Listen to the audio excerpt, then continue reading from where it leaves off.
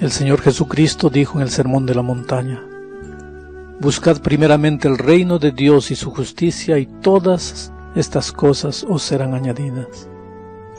Lo que él estaba queriendo decir es que empezar el día con Jesús es lo que hace la diferencia.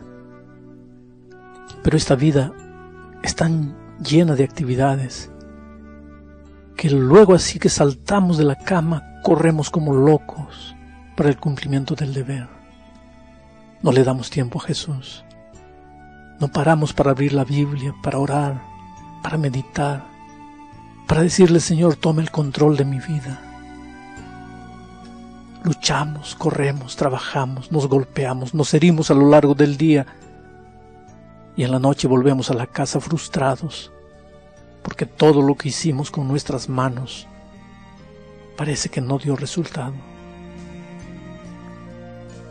El Señor Jesús no está diciendo que no debes trabajar ni esforzarte, pero lo que te está diciendo es que tu esfuerzo sin Cristo no vale nada. Pero cuando tú colocas a Jesús en primer lugar, las pocas cosas que puedes hacer cobrarán sentido y entonces sentirás el verdadero sabor de la victoria.